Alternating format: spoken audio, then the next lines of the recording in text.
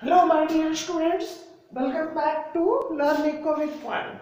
So in this video what we learn, today I am going to discuss measures to control the environmental degradation. Okay, so when I was discussing the uh, main causes of environmental degradation at that time I had given, I told, at that time I told that you must uh, do the opposite of that. In the first point in that video you find that increase in population. So here i have written the population control continuous increase in pollution. So here i have written the pollution control. Okay? That was the next was the poverty was the major factors for environmental degradation. And here i have written that is the eradication or removal of poverty.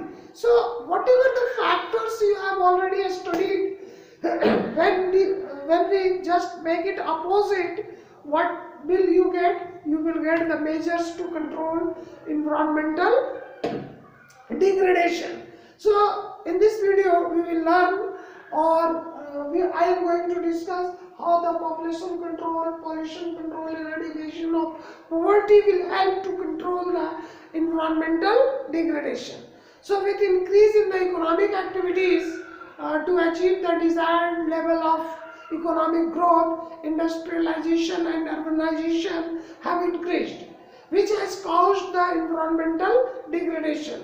So the following measures must be taken to overcome the problem of environmental degradation and the first and foremost that is the population control.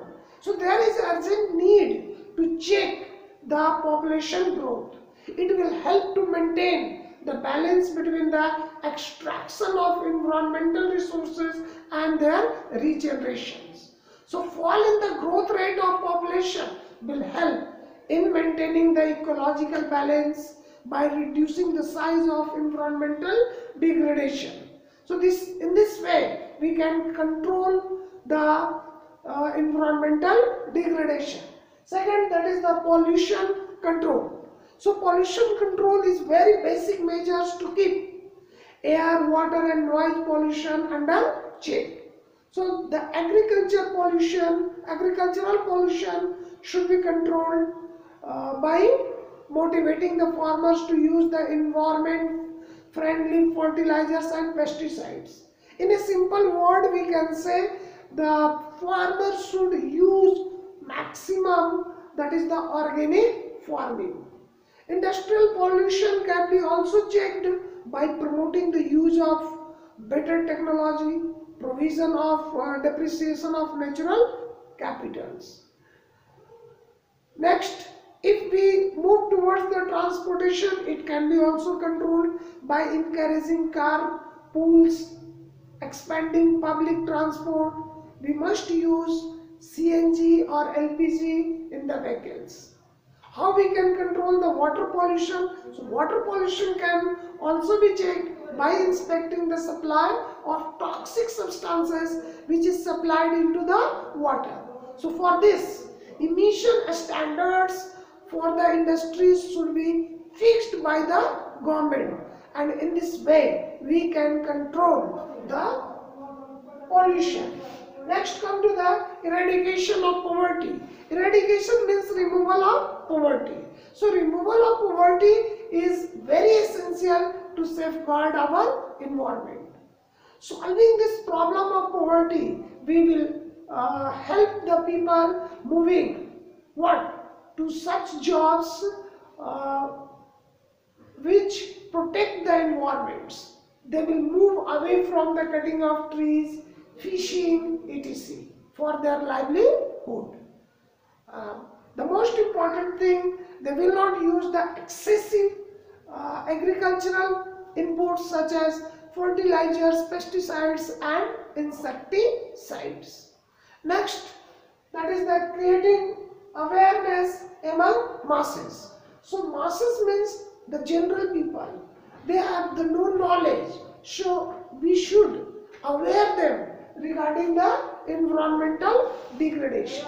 So environmental degradation is a challenge to India's environment which can be solved only by active participation of people. Okay? Thank you. Sorry, sorry. There are some points also that is the management of solid waste. Okay? So how the management of solid waste can be controlled?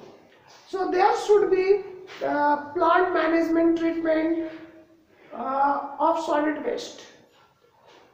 How the plant management will take place that is very common that is the uh, dumping garbage into the landfills and open fields should be checked. Okay? Alternate alternative and proper arrangement should be also made to dump waste. Solid waste should be treated uh, scientifically and uh, it must be measures to turn natural uh, oh, sorry rural waste uh, such as the compost uh, or we should uh, what?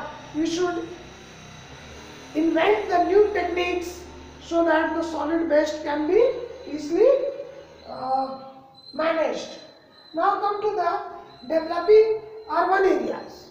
So how we can develop the urban areas so as we know that migration of people from rural areas to urban areas creates the pressure on environmental resources.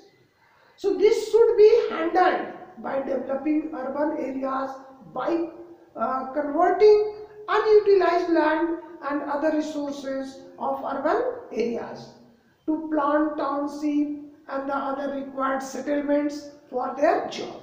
So in a simple words we can say uh, the growing population when they migrate from uh, rural areas to urban areas they must be settled only those land which is unutilized and the township, township should be spread uh, in such a way so that uh, they can get the job from one place to another place. Next is the uh, suitable pattern of economic growth. So what is the suitable growth of economic uh, economic growth? So suitable pattern means we can say that is the pattern adopted to achieve economic development should be environment friendly or environmental uh, environment friendly system should be developed and that is known as suitable pattern of economic growth.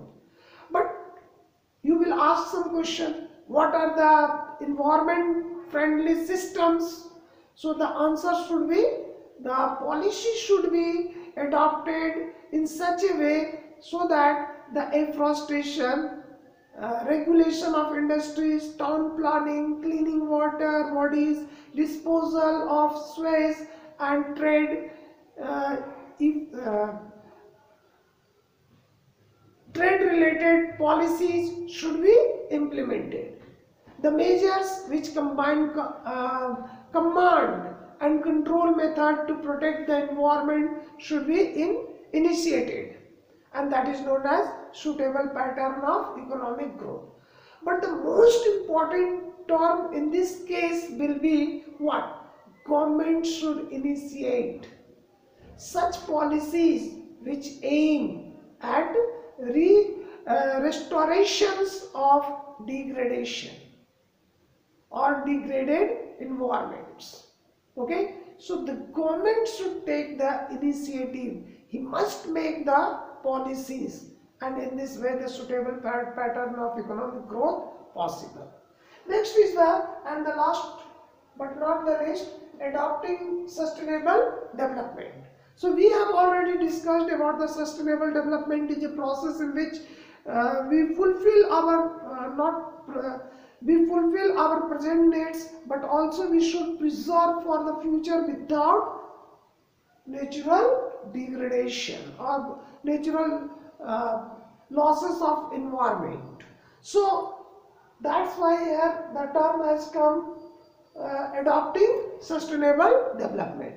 So the concern for the future generation, uh, every people should be aware uh, how to protect the resources, how it can be used so that our future generation may sustain. So sustainable development should be adopted for secure livelihood for future generation. The most important I have already discussed whatever the demand today we have we should also use uh, only those methods which will help us to generate what? To generate, uh, sorry, for the regenerations of resources or to generate more and more resources. Okay? So in this way, I have completed these chapters uh, in different videos. You will uh, go through the books and try to mug up all these points so that you can write the answer in a better way. Okay? Thank you.